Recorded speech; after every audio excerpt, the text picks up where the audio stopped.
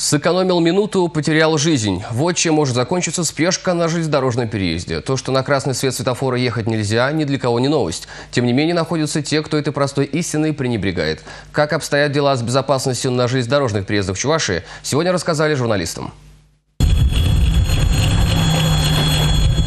Светофоры, знаки, шлагбаумы, камеры наблюдения. Современные железнодорожные переезды оборудованы самыми разными приспособлениями. Однако, судя по всему, любые технические средства оказываются бессильными против русского «авось». Если сравнивать Чувашу с другими регионами, то уровень аварийности на переездах, конечно, нельзя назвать катастрофическим. Но тревогу нынешнее положение вещей вызывает, отмечают специалисты. Если рассматривать 2013 год, необходимо отметить, что положение по Чувашской республике значит, э, изменилось в худшую сторону. Значит, за 2013 год было допущено три дорожно-транспортных происшествия на территории республики. Все ДТП, которые были допущены, ну, я их перечислять как бы не буду, они были допущены по вине водителей транспортных средств. В 2013-м обошлось без погибших, но такое везение в подобных авариях скорее исключение.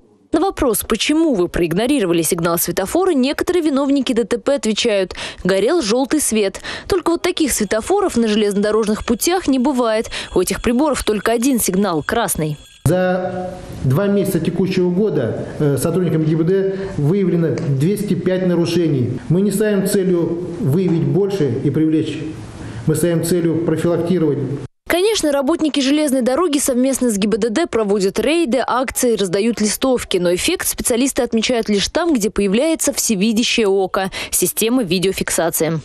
Динамика очень положительная. На некоторых местах, где установлены данные приборы, э, нарушения практически сведены к минимуму, к нулю.